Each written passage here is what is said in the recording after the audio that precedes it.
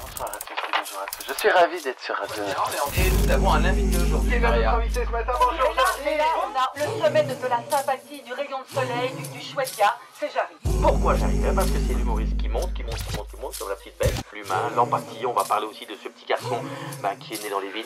Mes racines sont de la terre. Je me sens vraiment comme le commun des mortels. J'ai juste la chance de, de- de pouvoir être un peu plus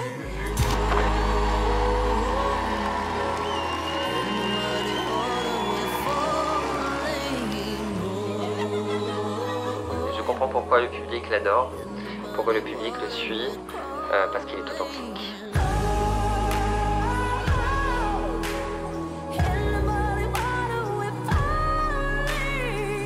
On a envie de se toucher, on a envie de s'embrasser, on a envie de s'aimer, quelle que soit notre culture, notre religion.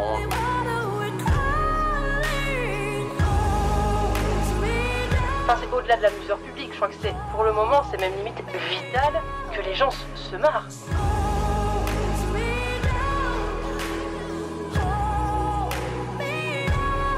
Personne ne m'empêchera de monter sur scène, de dire ce que j'ai à dire et de rire, parce que euh, ça m'apporte une telle liberté que je suis prêt à prendre tous les risques pour ça.